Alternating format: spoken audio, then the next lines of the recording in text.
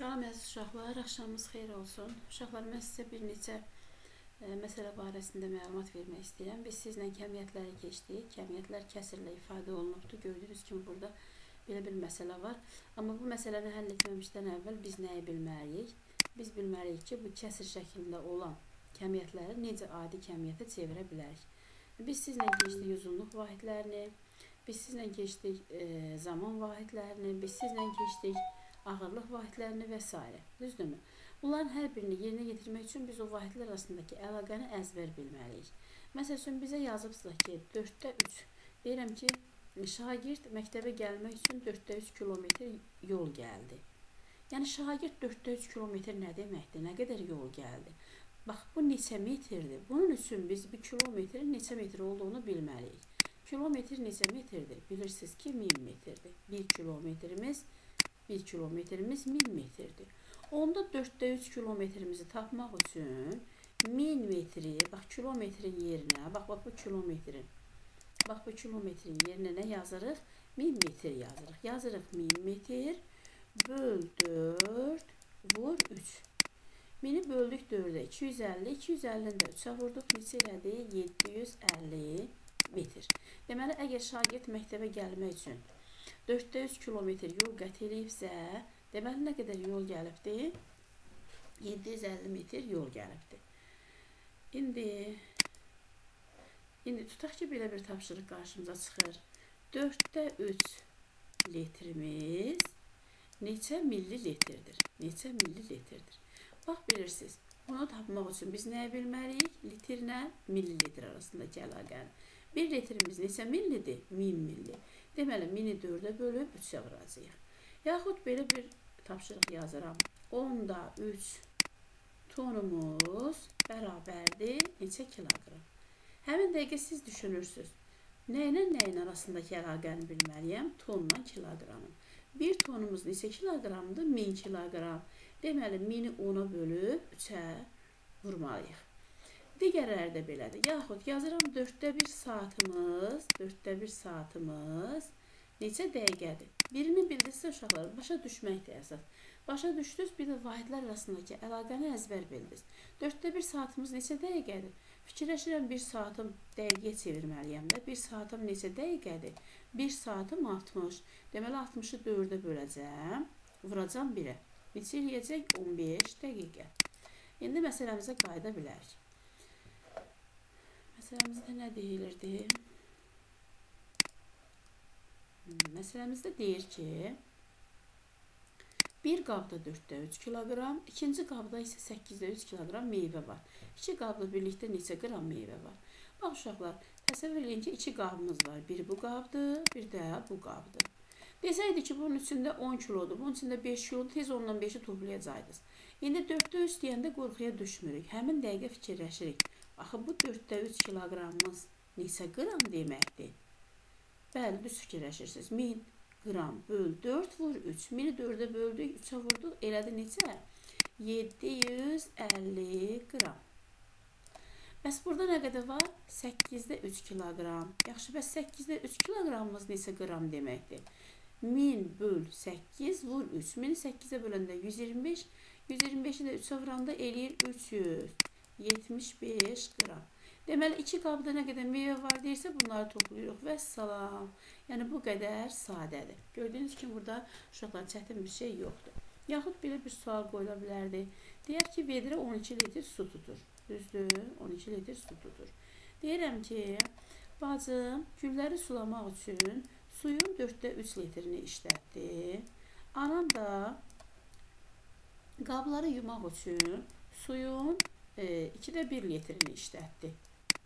Nə qədər su qaldı? Baxın, o saatlarım fikirləşirəm ki, 4-də 3 litrimiz neçə millidir? 1000-i bölürəm 4-ə 250. 250-ni də 3-ə vururam. Neçə elədi? 750. Deməli, bacım 750 milli su ilə qabları sulayıb, e, çiçəkləri sulayıbdır. Anam nə qədər e, su işlətmişdi qabları yumaq üçün? 2-də 1 litr. Bəs 2-də 1 litrimiz neçə millidir? 1000-i bölürəm 2-yə vururam 1-ə. 500 milli. İkisi birlikdə nə qədər su işlətdilər? Toplayıram. 1250 milli. Məsələn, axı 12-dən 1250-ni çıxmaq olar. Axı 12 litrləndir, bu isə millilitrləndir. Deməli 12-miz nədir? 12000 millidir. Çünki 1 litrimiz 1000 millidir. Deməli 12 mindən də 12 mindən də çıxacaq neçəni? Bax bu 1250. Yəni bu cəmi. Artıq bunları e, silirəm. Sizə başqa bir şey haqqında məlumat verəcəm uşaqlar. Biz bugün sizlə keçdik bucaqları. Transporterlə bucağın ölçülməsini öyrəndik. Baxın, bu hansı bucaqdır? Düz bucaqdır. Düz bucaq neçə dərəcədir? 90 dərəcə. Bəzən elə bilirsiniz ki, belə veriləndə düz olmur. Uşaqlar, bu da düz bucaqdır. İndi biraz mən əl çəkirəm. Buna görə özürü sayın. Bax, bax, bax. Bu da düz bucaqdır. Yəni bunun düz bucaq olmasını göstərən əsas nədir? 90 dərəcədir. Düz bucağımız neçə dərəcədir? 90 dərəcədir. Bu hansı bucaqdır? Kör bucaqdır. Bu hansı bucaqdır? İti bucaqdır. Yəni bu şəkildə verilibsə bu iti bucaq deyil deyə bilmərik. Məsələn bu şəkildə də verilə bilər. Bax, bu kör bucaqdır. Kör bucaqdır. Bəs açıq bucaq necə necə olur uşaqlar? Bax bu bəzi uşaqlarımız belə çəkdi dedi açıq bucaqdır. Yox, bu düz xəttdir uşaqlar. Görürsüz? Niyə düz xəttdir? Mən bunun kənarları açıqdır. İstədiyim qədər uzada bilərəm. Bu düz xəttdir. Açıq bucaq olması üçün belə olmalıdır və üstündə bir nöqtə qoyuram. Bax, bax, bu da açıq bucaq. Açıq bucağın dərəcə ölçüsü neçə dərəcədir? 180 dərəcədir. Bu açıq bucaqdır. Tam bucaq da var. Tam bucaq uşaqlar. Məsəl üçün dairənin baxın, e, e, mərkəzini qoyduq. Bu mərkəzin ətrafındakı bucaq 360 dərəcədir. Daha sizə nə deməli idim? Aha, şua nədir? Parça nədir? Baxın, parça. Bu parçadır. Üstümə nələri çəkirəm? Bax, e, çünki düzgün çəkə bilmirəm burada biraz. Bax bu A, B parçası. Adlandırıram necə? A, B parçası. Niyə? E, parçadır bu, çünki kənarlardan məhduddur. Bu isə düz xəttdir. Düz xətt kiçik hərflə işarə olunur. A düz xəttdir. Belə də çəkə bilərəm. B düz xəttdir. Bucağı uşaqlar adlandırmağı da öyrəndik sizlə. O, bura yazsam A, bura yazsam B. Hansı düzgün deyil? Belə bir şərt qoysam. O, A, B bucağı. Bucaq burada da göstərilə bilər, qabaqda da göstərilə bilər. Sonra A, bax burada da göstərirəm. O, B bucağı və bir də göstərirəm B, O, A bucağı. Desəm ki, hansı düzgün deyil? Təbii ki, görəcəksiniz ki, təpə nöqtə nədir? O. Burada təpə nöqtə ortadadır. Bu düzdür. Burada təpə nöqtə ortadadır. Bu düzdür. Burada isə ortada A-dır. Aha, bax, A təpə nöqtə deyil axı. Deməli, ona görə bu səhvdir.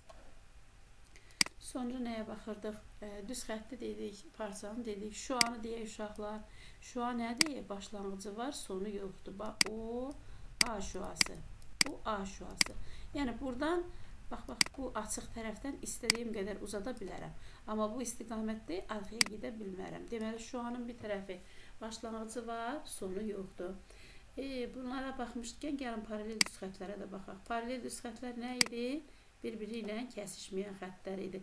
Nə qədər uzatsaq da bunu sola və sağa, nə qədər uzatsaq da bunlar heç zaman kəsişməyəcəklər.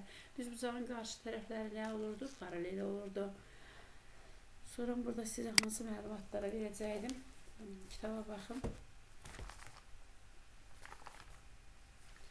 Bucaqlarla bağlı. Aha. Baxın uşaqlar. Tutaq ki, bizə belə bir düz bucaq verilibdir. İndi əyri çəkdiyimə baxmayın, düz bucaqdır bu. Mən biraz əyri çəkirəm bu. Düzgün çəkə bilmirəm. Baxın, tutaq ki, belə bizə belə bir şey verilibdir. Bax, burada yazıb ki, 30 dərəcə. Və burada da deyir ki, bunu tap. Niyə necəksiniz? Siz bilirsiniz ki, bu bucaq bütövlükdə nə qədərdir? 90-dır. Deməli 90-dan da 30 çıxanda bura neçə qalır? 60 qalır. Bunun payına qaldı 60. Yaxud belə bir şey verə bilər sizə. Baxın, belə yazar. Bura yazar. Bir hissədir. Bu bir hissədir. Bura yazar. Bu üç hissədir. İndi məsələn şərti qurmaq lazımdır. Mən şərt qurmuram burada. Məsəl üçün bizə deyək ki, e, bura O deyək, bura A deyək, burada B deyək. Məsəl üçün deyək ki, OC şuası A, O, B bucağını bərabər olmayan iki hissəyə bölmüşdür. Hissələrin biri o birindən 3 dəfə çoxdur. Nə deməkdir? Bax, bax, bir bucağımız, bax, hansı bucaq? Bax, bax, bu. Bu bucağımız neçə hissədir? Bir hissədir. Bu bir hissəni biz bir dənə dama ilə də işarə eləyə bilərik. Bax bu bucağımız neçə hissədir? 3 hissədir. Buna da 3 dama yaza bilərik. Mən sizə başa salmaq üçün yazıram, yəni e, nizami şəkildə yazmıram. İndi biz bilirik ki, bu bucaq bütövlükdə neçə dərəcədir? 90 dərəcə. Deməli bu 3 dama, bir də bu 1 dama. Cəmi neçədir? 4 dama. Bu 4 damamız neçə dərəcədir? 90 dərəcə. Deməli biz 90-ı neçəyə bölməliyik? 4-ə bölməliyik. Amma 94-ə tam bölünməyəcəkdir. 90-ı böləndə 4-ə bu e, onluq kəsir alınacaqdır. Ona görə bunu gəlin mən belə eləyim. Buna neçə hissə deyim? 4 hissə deyim. Buna 4 hissə deyim. Və burada da 4 dama əlavə eləyim. Olsun cəmi neçə? 5 hissə. Aha, bu səfər 90-ı neçəyə böləcəyik? Bu səfər 90-ı 5-ə böləcəyik. Aha, 90-ı böldük 5-ə. 9 5-ə bir dəfə. 40 da 5-ə 8 dəfə. Deməli bizim bax bax bu bucağımız neçə dərəcədir? 18 dərəcə. Bəs bu buradakı bucağımız neçə dərəcədir? 4-ü vuracam 18-ə. 40 4 dəfə də 8 32 elədi neçə? 72 dərəcə. Ümid edirəm ki, sizin üçün asan olacaq, başa düşmüsünüz. Bir də belə ola bilər uşaqlar, belə tapşırıq qabağınıza çıxsın. Mən bu gün sizə də verdim biraz bu tip tapşırıq. Baxın, hmm, açıq bucaqdır. Bura yazıram məsəl üçün 30 dərəcə. Bura yazıram sual. Necə hesablayasınız? Həmin dəqiqə düşünürsünüz ki, açıq buzaq neçə dərəcədir? Dəyişmək istədim rəngini. 180 dərəcə. 180 dərəcəsinin hansı hissəsi məlumdur? 30 dərəcəsi. Onda bunun payına nə qalır? 180 çıx 30 qalır. Yaxud belə ola bilərdi. Baxın, belə çəkirəm. O nöqtəsi. Buradan qoyuram 30 dərəcə. Buradan qoyuram 40 dərəcə. Və deyirəm bunu tapın.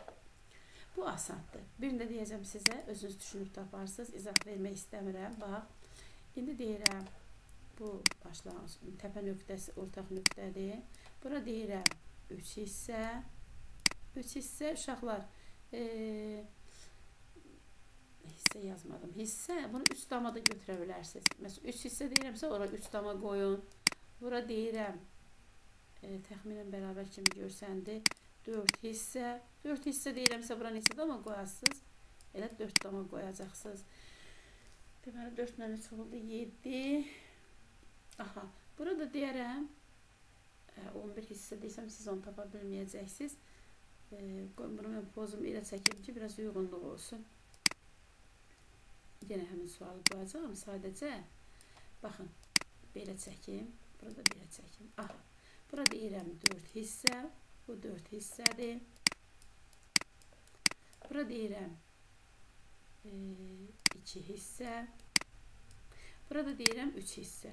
Və deyirəm ki, hər bucağın dərəcə ölçüsünü tapın. Deyirsiniz ki, müəllim bizə nə verilməyib, bu nətər tapaq? Amma tapa bilərsiniz. Dərindən düşünün uşaqlar. Bu 3 hissənin, 2 hissənin, 4 hissənin ümumi cəmi neçə dərəcədir? Bu hansı bucağın üstündə yerləşibdir? Açıq bucağın. Deməli 180 dərəcədir. Deməli 3 hissə, 2 hissə, 4 hissə. Ümumilikdə neçə hissə edir? 9 hissə. Deməli 180-ı 9-a böləndə neçə düşür? 20. Deməli bu bucağımızın dərəcə ölçüsü neçə olacaq? 4 vıraq 20, bununki 2 vıraq 20, bununki 3 vıraq 20. Özünüz bizə məs belə məsələlər düşünüb həll eləyə bilərsiniz. Məsəl üçün belə deyərsiniz. Bax buradan belə çəkərsiniz. Bu bir hissədir, yəni bir damadır. Bu isə 8 hissədir, yəni 8 damadır. Hər bucağın dərəcə ölçüsünü tap. İstəsəz bura O da qoyun, buna A deyin, buna B deyin, buna da C deyin. Deyin ki, bax bucaq A, O, B bərabərdir suala. Yaxud bucaq B, O, C bərabərdir suala. Hələ uşaqlar sağ olun.